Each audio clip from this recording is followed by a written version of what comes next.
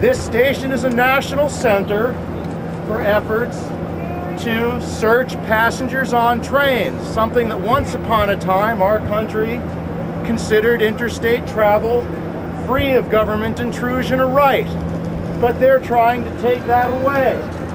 They're using the computer link between reservations and the Drug Enforcement Administration to decide who to search based on whether you bought your ticket with cash. This is illegal. You have a right to refuse. Free I do not consent to a search t-shirts. Do not allow the government agents to search you just because they don't like where you're traveling or that you may have paid cash. You'd like one? I like what you're doing. Wait a minute. Yes. How much are they? Well, they're free, but I'll take donations. I'm sorry. Please put it on. Let the agents, if they come out today, know you support me.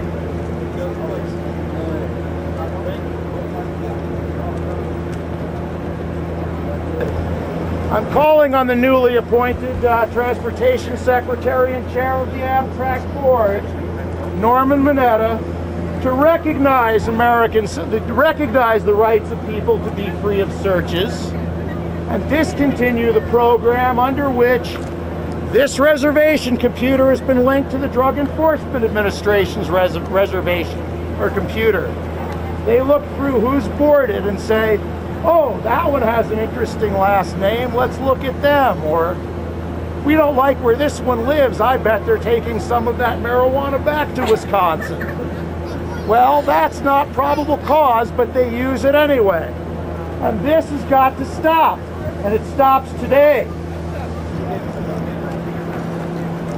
These agents do not have the right to search you. Please wear it proudly. I will. Keep up the good work. Wear it now. Put it on a train. Oh, Attorney I've seen them not only here in Albuquerque, but almost every place in the country. Stop the train, drug enforcement Oh, it's officers more, it's come more in. here than anywhere else, actually. Oh no, no, there isn't. Heck, I've I've gone up and down the line, and it's everywhere. Without that, You know, until they American is lost. Without that, the forefathers, what they fought for, is lost. Probable cause, fair and square. Thank you very much.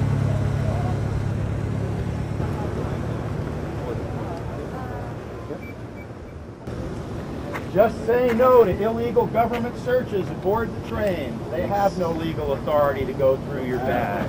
What they did to this bag, they, they went through everything in here. Then they searched. They ripped open the present for my girlfriend and searched through that for no reason. Came up to me, and I was the only person they came up to out here.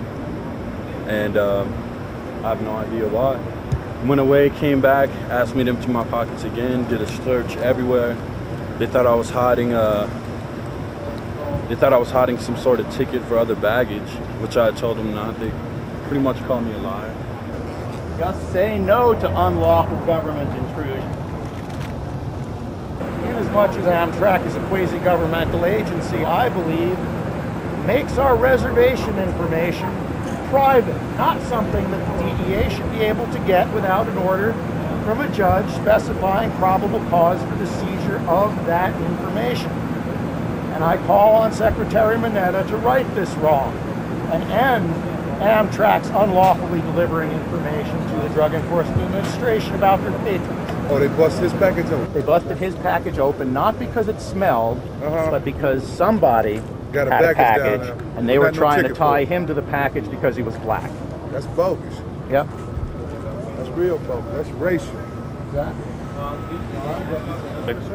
If you refuse, then they that gives them a cause to search. No, refusing is not probable cause.